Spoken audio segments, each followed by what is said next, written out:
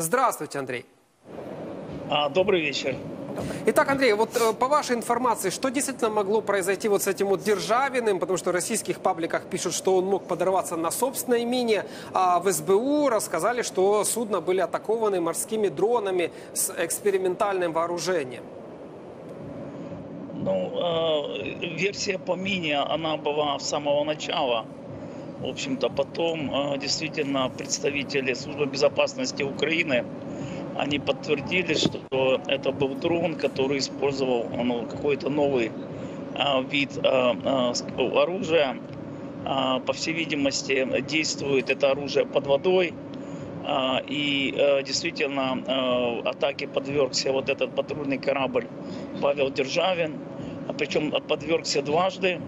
А, сегодня спикер а, а, ВМС это подтвердил.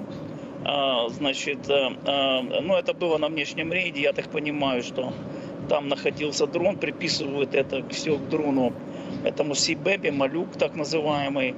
А, вот. Но, видимо, сейчас он сработал не в режиме камикадзе, а в режиме платформы для другого оружия, по всей видимости, которое действует под водой. Это может быть какая-то торпеда, возможно. И ну, дело в том, что при взрыве а, под водой, э, это такой взрыв гораздо более а, опасен для корабля, для корпуса корабля, чем, например, взрыв на поверхности.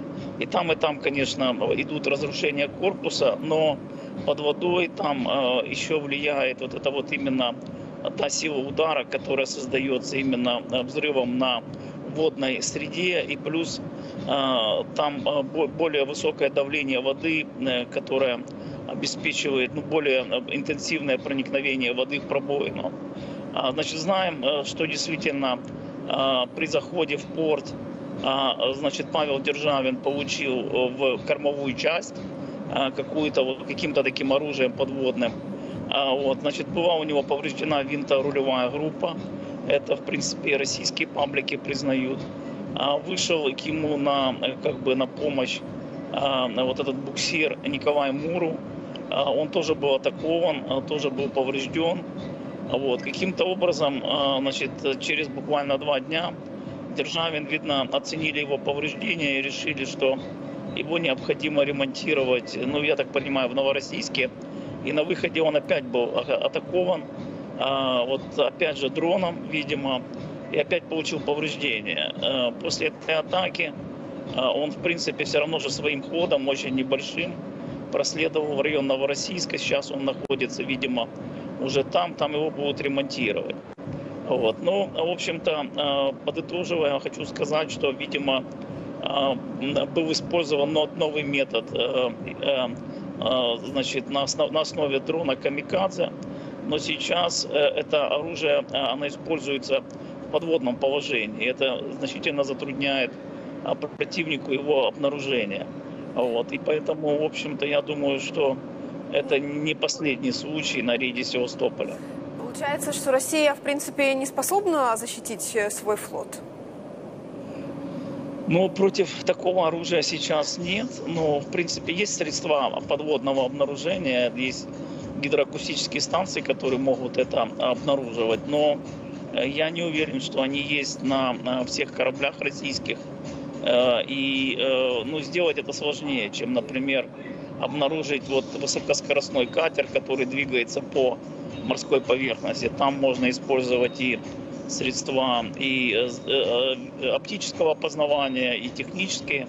Вот, а под водой это уже история становится ну, гораздо сложнее. Поэтому ну, те, теоретически возможность такая есть. Фактически я очень не уверен, что она сейчас доступна для Черноморского флота, кораблей Черноморского флота. Как вообще отражается на вот, логистике, перемещении возле Крыма Черноморского флота России вот, под постоянной угрозой удара дронами, теперь уже и подводными дронами, э, беспилотниками, ракетами? Э, что, как, что вынуждена предпринимать Россия в этом случае? Ну, смотрите, во-первых, э, еще год назад Россия начала передислоцировать свои корабли из Севастополя в Новороссийск. Ну, известно, что, в принципе, Севастополь был главной базой, но и в ней базировалось, ну, я так думаю, наверное, процентов 90 кораблей всей Черноморского флота, может быть 85. После того, как начались удары беспилотниками, воздушными, морскими, э, россияне начали бази- перебазировать часть своих сил э, в Новороссийск и рассредотачивать корабли по пунктам базирования в Крыму. Сейчас в Новороссийске находится где-то третья часть э, кораблей, подводных лодок.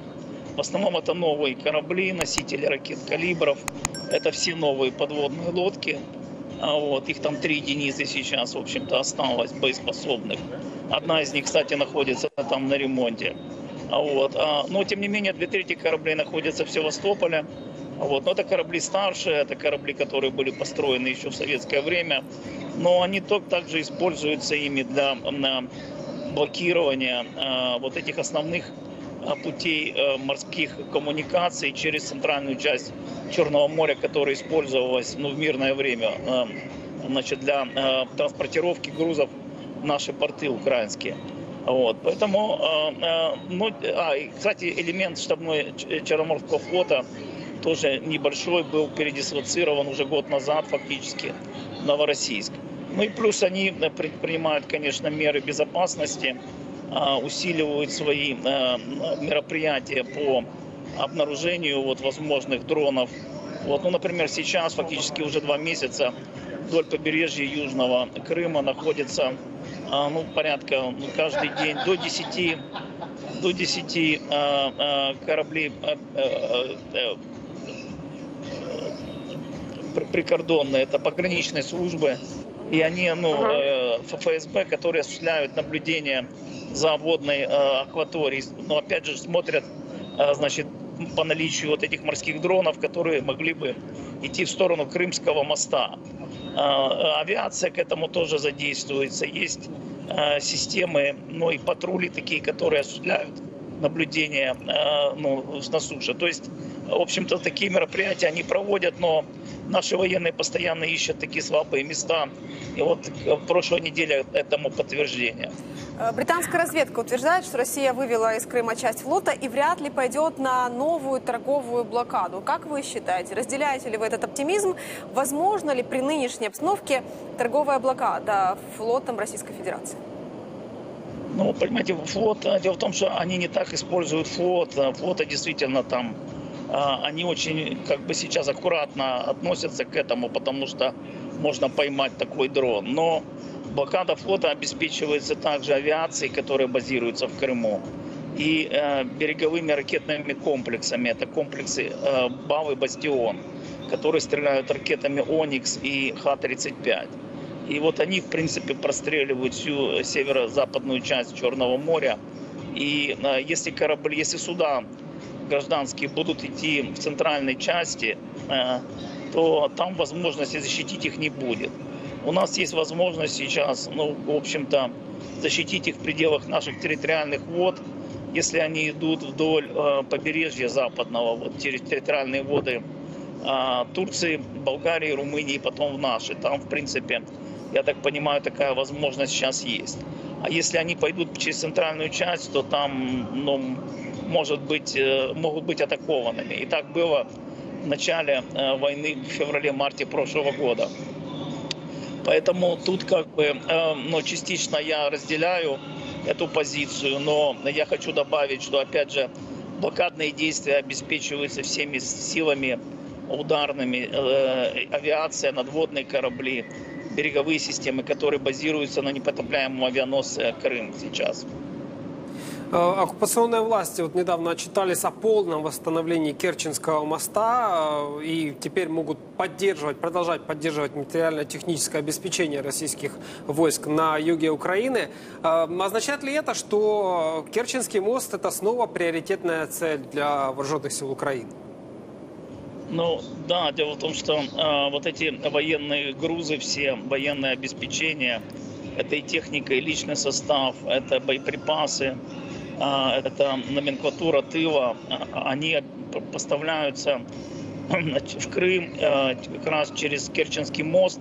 Ну и часть вот этого оборудования, оно идет уже с Крыма туда вот на южные области Украины, которые сейчас оккупированы. Вот. Но если брать вот Приазовье, вот, да, вот этот коридор, который соединяет сейчас Крым с э, э, Краснодарским краем, то через него перебрасывается примерно 75% грузов. А, Поэтому так важно, в общем-то, сейчас при Азове вернуть под наш контроль.